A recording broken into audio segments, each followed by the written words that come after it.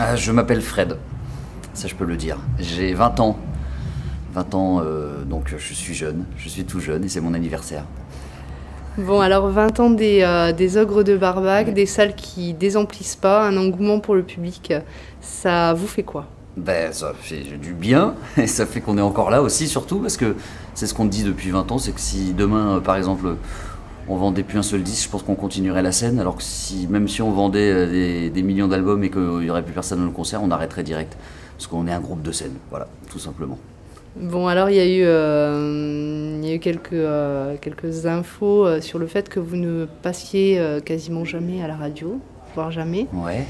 Est-ce que vous trouvez que c'est légitime le fait de- d'avoir des sélections comme ça qui s'opèrent, de qui on fait passer la radio ou pas c'est vraiment. euh, on a eu, nous, une petite crise, une petite période où on se disait, ouais, c'est quand même, c'est pas normal. euh, c'est notamment euh, quand on a fêté, enfin, juste après avoir fêté les 10 ans, on se disait quand même, au bout d'un moment, euh, depuis. Enfin, c'est vrai que on a de la chance d'avoir beaucoup de monde à nos concerts. euh, et puis, ça intéresse pas forcément le. Les grandes radios, les grandes ondes, les grandes médias, mais bon, euh, pff, en fait, on en est vite revenu, et puis on s'est dit que finalement, le, le plus important, c'était qu'on arrive à continuer euh, justement à faire nos concerts, euh, et puis que finalement, le bouche à oreille, et puis le, on va dire l'info un peu telle que nous on l'a organisée, bah, c'est c'est pas plus mal. Bon, et alors qu'est-ce qu'on espère au bout de 20 ans finalement? Et qu'est-ce qui a changé? Qu'est-ce qui a changé? On a plus de confort sur les tournées. C'est vrai que les dix premières années, on était euh, en camionnette, 800 km entre chaque date, et puis 150 dates par an. Aujourd'hui, on a 90 dates et on a souvent, enfin ça dépend des tournées, mais sur les grosses tournées, on, a un grand bus, c'est quand même plus, cool, plus confortable. Et puis du coup, bah, comme on, est tous, on a tous pris 20 ans, bah, ça nous permet de nous reposer un petit peu. Bon, alors le morceau finalement euh, que vous avez euh, créé et qui qui vous plaît le plus? Euh, qui nous plaît le plus, euh, bah, non, mais disons qu'on a un morceau quand même euh, représentatif du groupe, c'est Rue de Paname. Et comme c'est la première chanson quasiment que, bah, moi j'ai écrit au niveau des textes, musique, enfin on a, on a toujours bien aimé jouer cette chanson. On, on continue en fait, on l'a jamais arrêté en 20 ans. Et il y a une tournée où on s'est dit, bon allez, il y en a marre de jouer cette chanson, on va essayer de l'enlever. Et puis finalement ça ne le faisait pas du tout, les gens nous la réclamaient tous les soirs. Donc je dirais que c'est notre chanson un peu, voilà, phare. Bon, alors vous êtes euh, quatre frères et sœurs soudés dans, dans le groupe depuis, euh, depuis tout ce temps. Et euh, vous avez mené des, des projets qu'on peut appeler des projets parallèles. Ouais. Et donc, qu'est-ce qui en ressort? Est-ce que finalement, c'est c'est quelque chose de, de positif d'aller chacun de son côté? Ah bah, de toute façon, à chaque fois, bah, il n'y a pas eu beaucoup de pauses pendant les 20 ans des ogres. Mais dès qu'il y avait les jumelles, par exemple, qui, attendaient un bébé, par exemple, nous on avait 6 mois de libre, donc on partait faire. Donc moi j'ai fait Fredo Chantrenault, euh, mon frère il a fait Barbara. C'est. euh, nous, c'est. Enfin, je veux dire, on va, on va continuer à faire comme ça. Moi souvent on m'appelle. En fait, maintenant on habite chacun euh, dans des régions complètement différentes. Et euh, ça, moi, on m'appelle souvent, comme je suis euh, en banlieue parisienne, pour venir faire un petit guitare-voix. Dans ces cas-là, je fais, je fais Fredo Chantrenault. Je préfère faire ça que les autres tout seul. Donc, euh, c'est plus, je dirais, complémentaire. euh, notre, notre, notre, premier, notre premier rôle, on va dire, c'est les ogres. Et puis, de temps en temps, on, on fait quelque chose en solo. Quoi. C'est pas la première fois que vous venez en Aveyron, vous êtes déjà venu il y a, il y a un petit moment.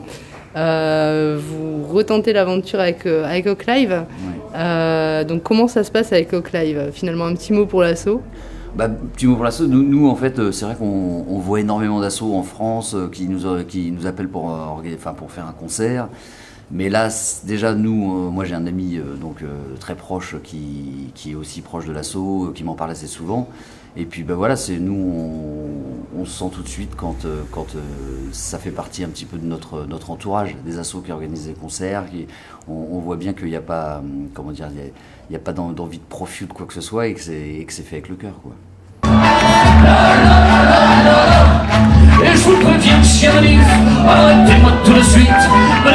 Venez voir là où j'habite, dans ma maison sans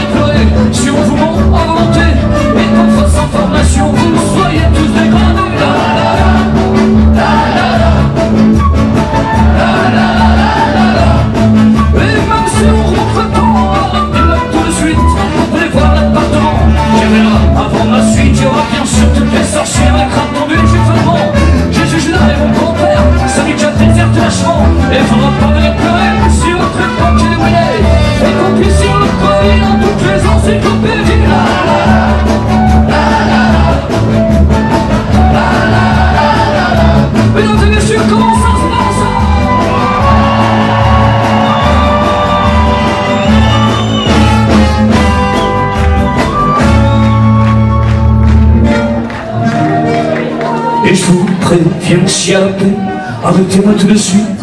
Venez voir dans le palais qui orne ma suite. Il y aura tous les clandestins, les honnards et les cousins, les matelots anarchistes et des pénétrapésistes. Et faudra pas venir pleurer si on est tous en bonne santé et dans votre dicton reçu. Et